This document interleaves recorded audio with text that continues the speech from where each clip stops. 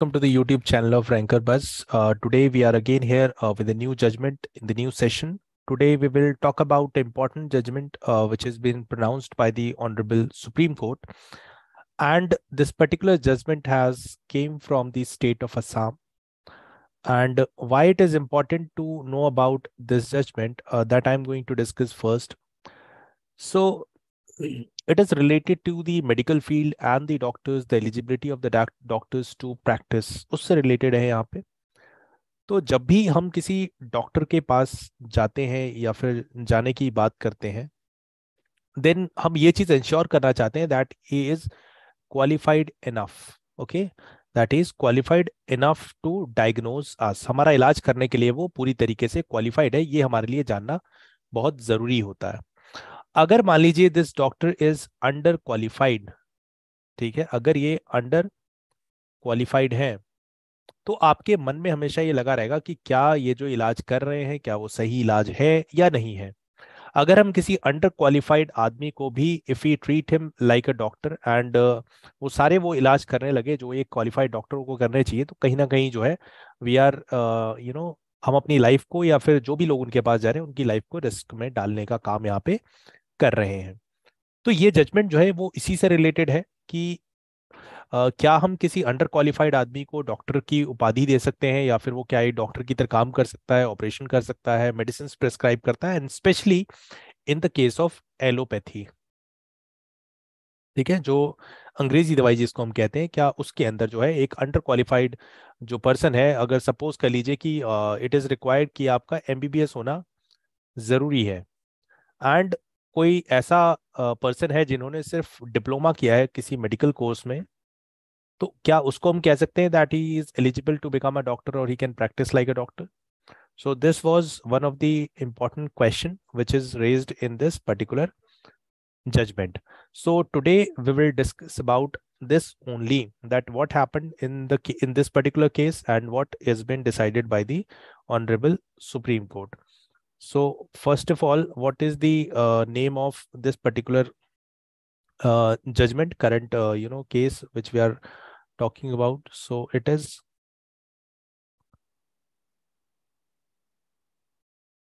Behrol, Behrul Islam, Behrul Islam versus Indian Medical Association 2023. So this is Behrul Islam versus Indian Medical Association 2023 case. And this case has been heard by the uh, division bench of the Honorable Supreme Court. And it was heard by basically Justice B.R. Gavai and Justice B.V. Nagaratna. So this was heard by the division bench of the Honorable Supreme Court. And this case has actually came in appeal from the uh, decision of the uh, respective, you know, High Court of Assam, that is the Guwahati, uh, Guwahati High Court. So what exactly happened in this case that, you know, by a law of 2000 and, uh, 2004, 2004 में एक कानून जो है वो असम की जो legislative assembly है वो यहाँ पे पास करती है जिसको हम कहते हैं Assam rural health regulatory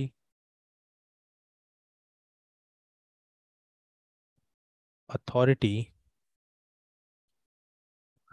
Act 2004 and इस पर्टिकुलर एक्ट में जो बातें कही गई that a diploma holder can also act like a doctor and practice like a doctor this was invalidated and made null and void by the Guwahati high court. तो high court ने ऐसा किया। अब इसके जवाब में the government or we can say the legislature came up with another law to bypass this particular judgment of the honourable high court. That was Assam.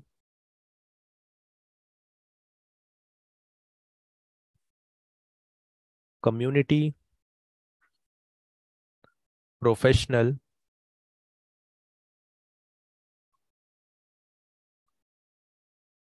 Professional registration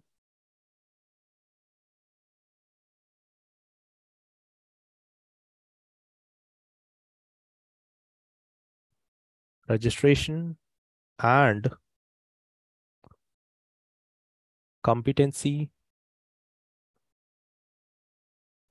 act 2015 तो 2015 में एक और कानून लाया गया और इसके अंदर कुछ बातें कही गई तो हमें यहाँ पे याद रखना है दो चीज़ें।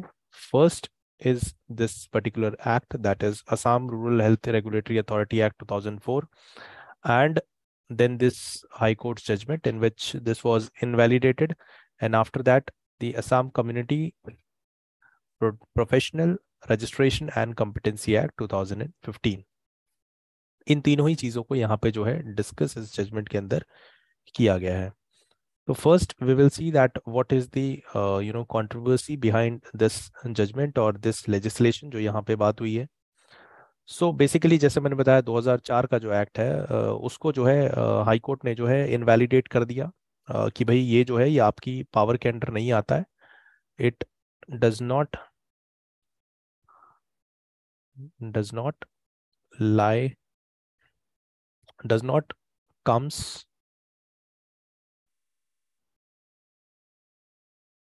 within the power of assembly to legislate on this subject. So this the subject which it is talking about doesn't come under the uh, purview of the assembly. वो जो है इसके ऊपर कानून नहीं बना सकता है ऐसा उन्होंने कोर्ट ने यहाँ पे कहा। अब उसके बाद जो है जब ये जजमेंट आई और उसके बाद जो है नया कानून वो लेके आए तो उसके बाद जो है कुछ इश्यूज़ जो है वहाँ पे रेज हुए सुप्रीम कोर्ट के सामने। तो we will see that what were the issues raised before the honourable supreme court. तो basically there were two issues which were raised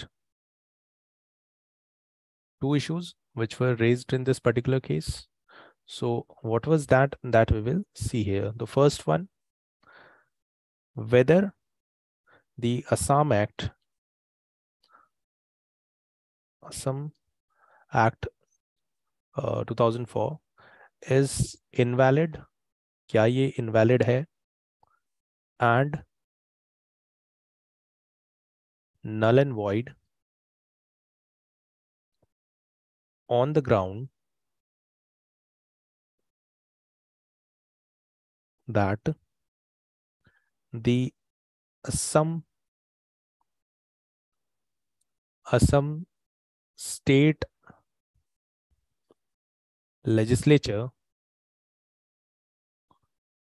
did not possess the legislative competence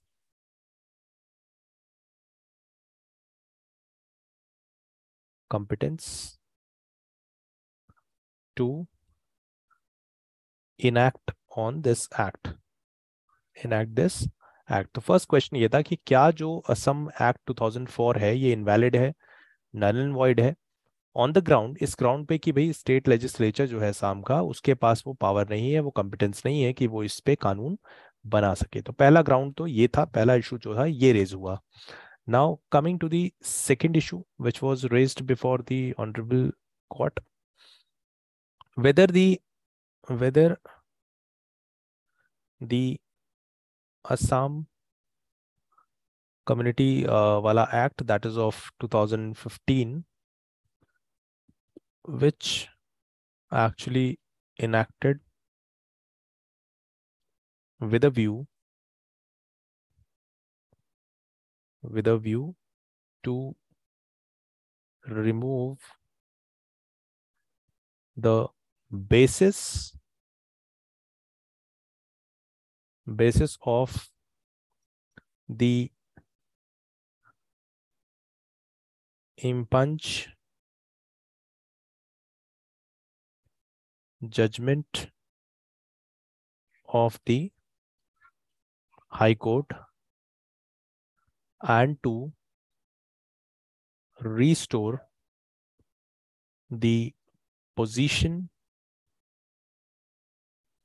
of the diploma holders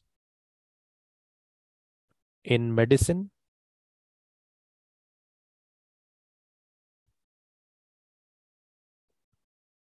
and to give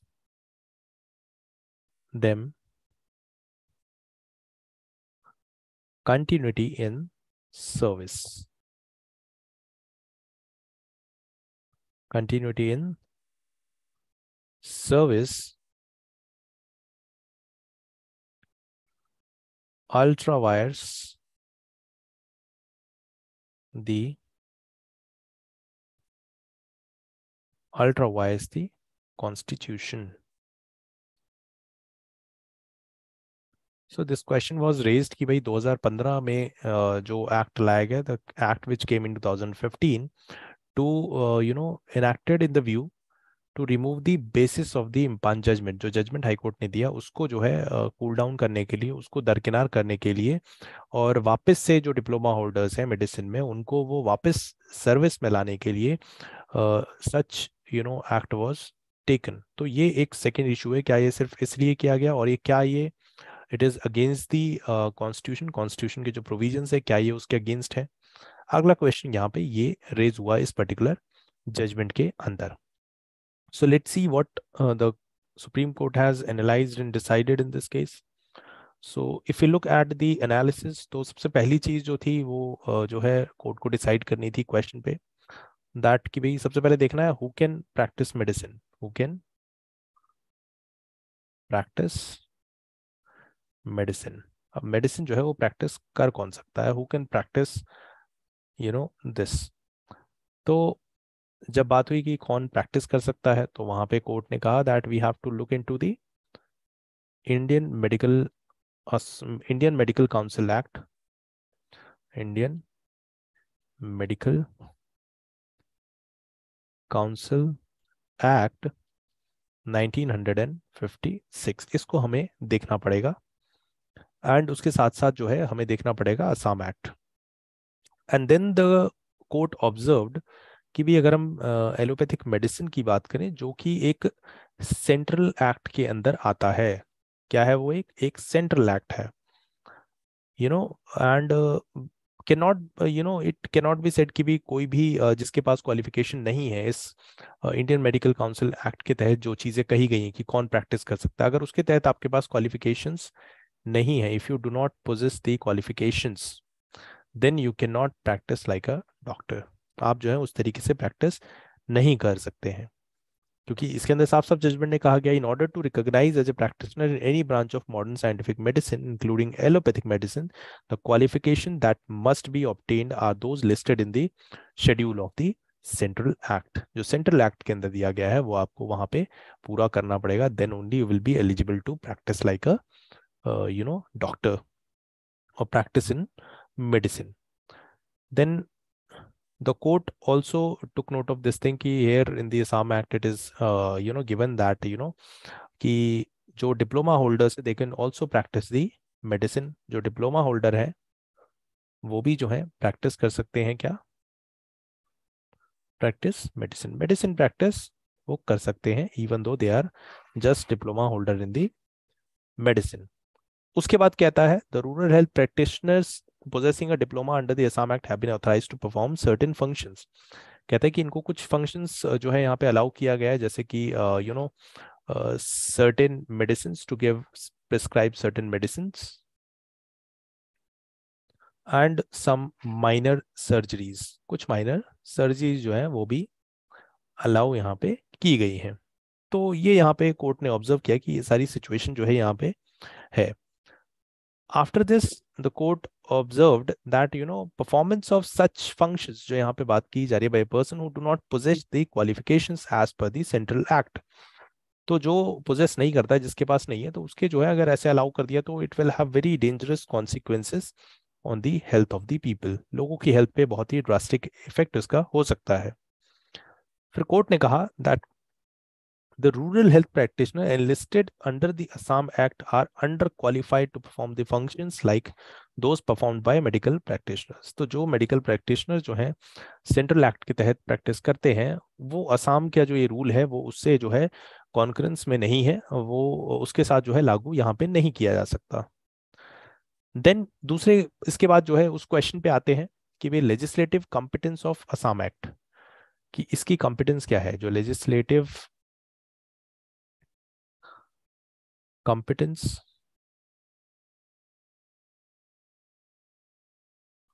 To enact Assam Act 2015 तो कहता है, क्या ये within the competence of the assembly है? क्या ये उसकी competence के अंदर है? तो कहता है भी the state legislature under entry 25 list 3 possess legislative competence to legislate with respect to all aspect of education ठीक है? एक्सेप्ट दी कर तो सकता है, लेकिन एक चीज़ नहीं कर सकता। क्या नहीं कर सकता? To determine the minimum standards it can not determine the minimum standard that is required जो मिनिमम स्टैंडर्ड्स होने चाहिए, उसको डिसाइड नहीं कर सकता है। And with this view to provide a benchmark quality of medical education it is essential that uniform standards to be laid down by the parliament तो कहता है अगर हम बात करें सच ऐसे यूनिफॉर्म जो चीज़ें हैं you know uniform procedure or we can say the uniform standards can only be set by the honorable parliament सिर्फ़ पार्लियामेंट ही है जो इसको कर सकती है state legislature can not lay down the minimum standards that are required. वो उसको यहाँ पे तय नहीं कर सकती है। तो फिर उसके बाद कहता है, अगर एंट्री 66 और लिस्ट वन देखें, जो तीन लिस्ट हैं, उसमें से पहली लिस्ट की देखें has been formulated with the objective to maintaining uniform standard of education in the field of research and higher education तो वो वहाँ पे जो है पार्लियामेंट की परव्यू में आता है, क्योंकि हम जानते हैं लिस्ट वन जो है, वो यूनियन लिस्ट होती है। तीन लिस्ट में से जो शेड्यूल सेवन सेवन में दी गई है। लिस्ट वन की बात करें तो ये होती है यूनियन लिस्ट जिसके अंदर केंद्र सरकार जो है, वो लॉ बना सकती है। आपका लिस्ट टू जो होता है that is the state list जिसके अंदर की राज्य सरकारें जो है लॉ बना सकती हैं। Then we have the list three under which both center and the state can make law. But if both of them will make law on the same subject, then the centre's law will prevail over the state तो ये जो है, ये system है यहाँ पे और कहता है कि जो यूनियन लिस्ट में आता है, ये स्टैंडर्ड सेट करना। So it is up to the parliament to you know make laws such things इसके बाद कहता है however the same act which is enacted by the state lies on the strength of entry twenty five of list three not only seeks to introduce a new course in the field of medical education but also seeks to regulate the profession of candidate successfully completing said course तो कहता है कि जो list three के अंदर, जैसे मैंने आपको बताया that under list three concurrent list both centre as well as state can make laws तो ऐसे ही अगर असम एक्ट जो है, वो उसके तहत बनाया जा सकता है, जैसा कि इसमें कहा गया है। साथ ही कहता है it vests with the regulatory authority constituted there under power to prescribe minimum standard of the course कहता है कि भाई, जो है मिनिमम स्टैंडर्ड ऑफ़ कोर्स भी सेट किया जा सकता है। ऐसा वहाँ पे स्टेट का यहाँ पे कहना था। लेकिन पार्लियामेंट जैसा कि यहाँ पे कह चुका था, जैसा कि हाई कोर्ट ने डिसाइड किया था, जैसा सुप्रीम कोर्ट ने कहा कि भाई, जब मिनिमम स्टैंडर्ड सेट करना अगर यूनियन लिस्ट के अंतर्गत है then it is not within the competence of the legislature to enact such a act which actually setting the minimum standards. तो वो जो है, वो हाई कोर्ट ने जो किया, वो बिल्कुल ठीक किया। जो 2004 के एक्ट को सेट असाइड किया गया था, किसके द्वारा? हाई कोर्ट के द्वारा। ये बिल्कुल सही था there was nothing wrong in this now court जो है वो देखता है 2015 के एक्ट को कि भाई जो इस जजमेंट के बाद ये एक्ट लेके आया, जिसके अंदर इन्होंने सर्विस को कंटिन्यू करने की बात वहाँ पे कही कि जो लोग कर रहे हैं वो कर सकते हैं। असम कम्युनिटी प्रोफेशनल एक्ट 2015 तो इसके लिए कहता है court explain that while the legislature can not directly overrule judicial decision अब भाई हाईकोर्ट ने एक डिसीज़न दे दिया। आप जो है उसके खिलाफ एक नया एक्ट लेके आ गए। So can they do so तो कहता है कि भी वैसे तो कर सकते हैं। यू नो डायरेक्टली तो नहीं किया जा सकता, लेकिन हाँ आप कोई कानून ज़रूर ला सकते हैं उसको डाइल्यूट करने के लिए। उसके अंदर जो कमियाँ हैं, जो आपके एक्ट में मान लीजिए जिसको इनवैलिडेट किया गया है, आप दूसरे एक्ट को ज़रूर ला सकते हैं उस कमियों को दूर करते हुए, जिस बात पर उसने इनवैलिडेट किया था। देन कहता है कि such legislative device which removes the vice in the previous legislation which has been declared unconstitutional is not considered an encroachment on judicial power तो कहता है, अगर आप सिर्फ़ इसलिए नया एक्ट ला रहे हैं कि भी पिछले एक्ट में जो कमी थी उसको हमने यहाँ पे दूर करके एक नया एक्ट लेके आए तो इसको हम नहीं कह सकते that you know it's it's overreach या फिर जो है जुडिशियल जो डिसीज़न है उसको कहीं से डिसरिस्पेक्ट किया जा रहा है, ऐसा यहाँ पे नहीं कहा जा सकता है। तो फिर इसी के लिए यहाँ पे कोर्ट ने कहा hence it is held that the 2015 act has been enacted with view to restore the position of diploma holders तो 2015 एक्ट जो है क्या करता है? Restore the of diploma holders in medicine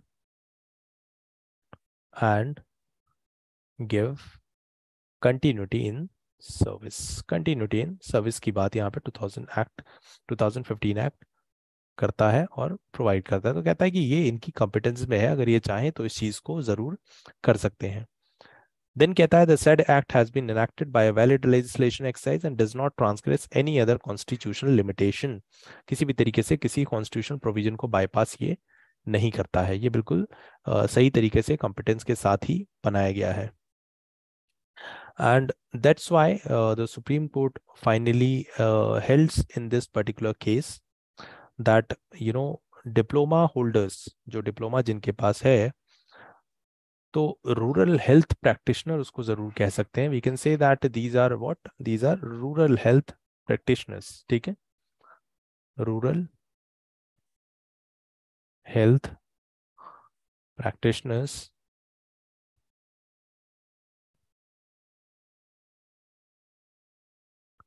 but they are not medical practitioners medical practitioners ये जो है इनको हम M B B S doctor जो है उसके इक्विवेलेंट यहाँ पे नहीं कर सकते हैं ऐसा नहीं किया जा सकता है। कहता है rural health practitioners are not medical practitioners as it is rightly said by the Guwahati high court जो हाई कोर्ट ने कहा था बिल्कुल सही है, लेकिन साथ ही ये कहा कि 2015 में जो उनकी सर्विस को कंटिन्यू करने के लिए जो एक्ट लाया गया, वो भी अपनी जगह पे सही है। उसमें कोई भी लेजिस्लेटिव कॉम्पिटेंस की बात नहीं है कि उनकी कॉम्पिटेंस में नहीं आता, ऐसा नहीं है। तो yes they can continue but they can not become equivalent to the you know medical practitioners medical practitioners के साथ उसको जो है इक्वल नहीं माना जा सकता। Doctors are doctors and the diploma holders are just rural health practitioners who have been given certain duties to perform duties to perform like you know certain medicine that they can recommend but they can not perform all the duties like the medical practitioner that are doctors which they become after doing the M B S so this was the judgement in this particular case जिसके अंदर की जो high court ने बात कही उसको सही माना गया लेकिन साथ ही ये भी कहा गया 2015 में जो एक्ट आया है वो बिल्कुल it is a valid piece of legislation and there is nothing wrong in this so the basic idea behind this particular judgment is that that definitely certain functions can be performed by the uh, by the uh, lower qualifications but they cannot be uh, made equivalent to the doctors उस qualification के बराबर उनको नहीं रखा जा सकता but yes definitely the state can make certain provision in which they can perform certain duties which is required in the rural areas so I hope you have got the point and understood this particular judgement I hope in this judgement will help you out in understanding the things कि भाई किसके domain में central के state के list में क्या क्या चीज़ें आती हैं एंड वो इज़ एक्चुअली कौन किस चीज़ को कर सकता है, कौन कॉम्पिटेंट है? आइदर अगर वो लिस्ट वन में है तो who is competent to make the law and with respect to the regulation of the doctor तो ये सारी चीज़ें हमने इसके अंदर डिस्कस की। I hope you all have understood this thing thank you for watching this video if you have any suggestions और anything else you can just drop those things in the box we will see you in the next session with some other new judgement so thank you so much. Thank you everyone. Bye bye